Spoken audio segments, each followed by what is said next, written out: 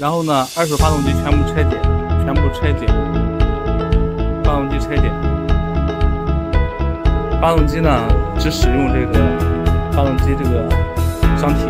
其他的全部使用新配件。发动机只保留这个箱体，其他的所有配件全部卖废铁，然后全部更换新的配件。旧的缸体，然后再超声波清洗只保留我们这个发动机，只保留着缸体是旧的，只保留着缸体是原先的，所有的配件都是使用新的。像这个凸轮轴、这些曲轴，全部是使用新件，都是全新件。这是刚好一台发动机，这里面的活塞啊，活塞四季套，在里面的全部是换新的啊，全部是换新件，全新的发电机。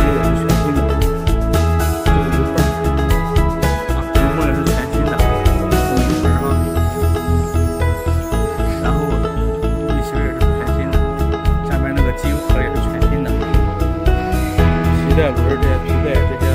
泵都是全新的，然后这些气门啊。顶杆什么全部换全新的，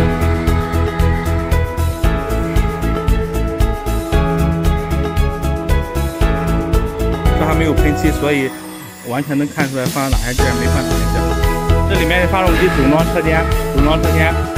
油泵是新的，连杆这些东西都是新的啊，全新的，气管是新的，然后看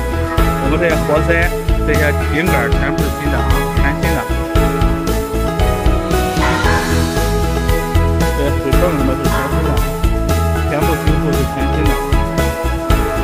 全部更换。这发动机内部的所有的配件都是新的，发动机所有内部配件都是新的，这是全新的啊，全新的配件，没有使用过的啊，这个型号的。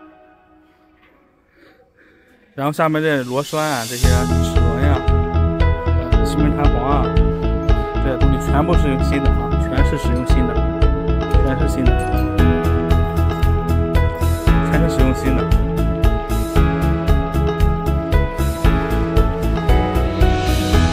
这些配件全部使用新的。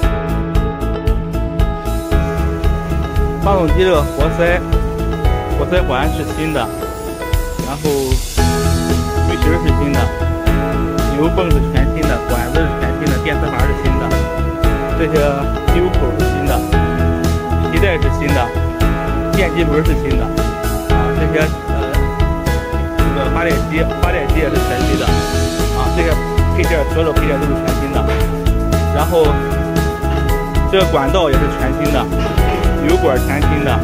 增压器是全新的啊，增压器是全新的，啊，然后这个油泵也是名牌哈，然后上边的柴滤也是全新的，啊，这些管道这个还是全新的。看一下这个都是全新的，只有缸体是旧的，只有缸体和这个盖啊是旧的，其他全是全新的。这是这是车间，这是我们使用的柴油机。